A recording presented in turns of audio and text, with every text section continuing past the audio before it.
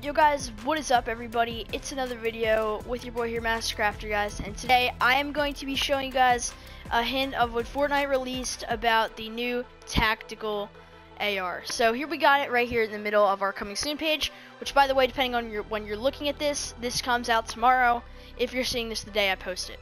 Before this video starts guys, make sure to go ahead and drop a like. I would appreciate that a lot. And subscribe. But anyway guys, on to the features of this gun.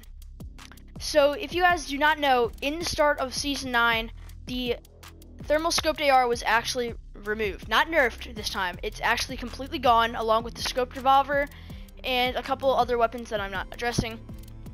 But if we look at the, the gun right now, we can see we got obviously the thermal scoped on it on the top, which gives us the biggest hint that this may just be a buffed thermal scoped AR. Um, onto the front of the barrel, we got a suppressor barrel if you look in the front of the gun. Uh, the stock, or the, the stock is different, um, almost similar to that. Actually, this one looks completely different.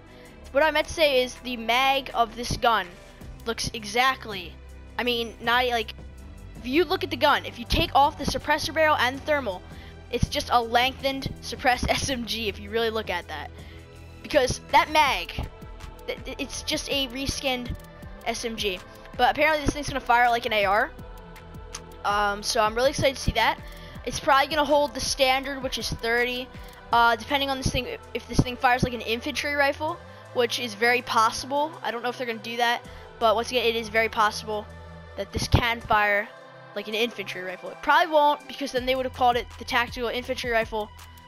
But I mean, it's an AR. It's probably gonna hold 30 like a standard AR will. Um, so let me know in the co comments, guys, what, what, your thoughts are on this gun. Uh, if we look at the description, it says the robust and precise assault rifle is the ideal. Oh, sorry about that, voice crack.